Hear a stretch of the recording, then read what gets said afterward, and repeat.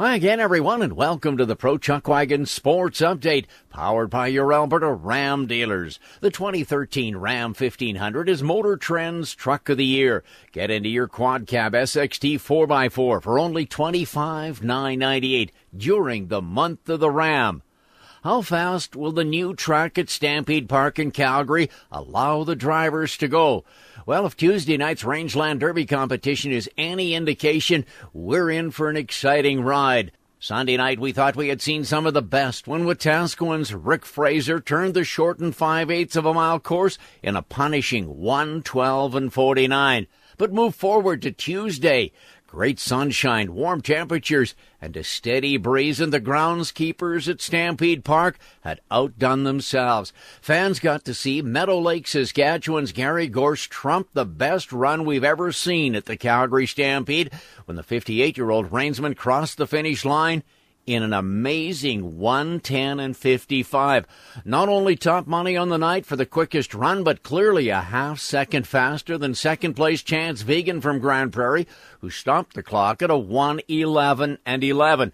And it was close for the other two wagon masters rounding out the top four on night five of the Rangeland Derby. Grande Prairie's Huey Sinclair had his best run in a while as the four times Calgary Stampede champion finished third on the night with a 111 and 20 and Jerry Bremner from Westerose, Alberta 13 one hundredths of a second back at a 111 and 33.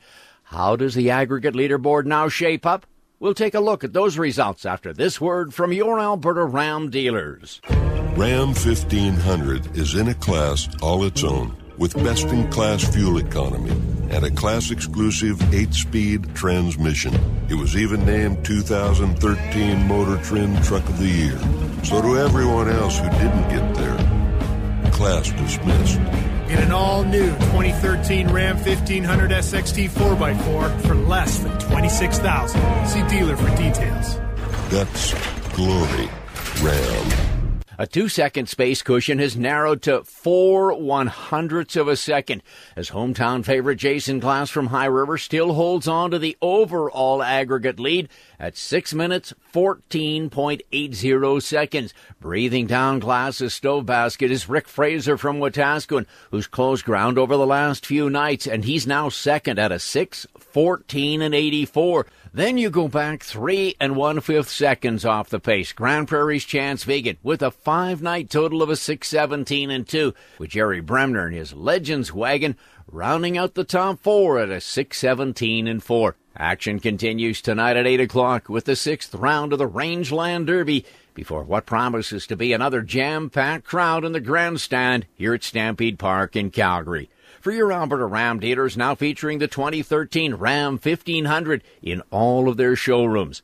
I'm Arnie Jackson for the Rodeo Country Radio Network.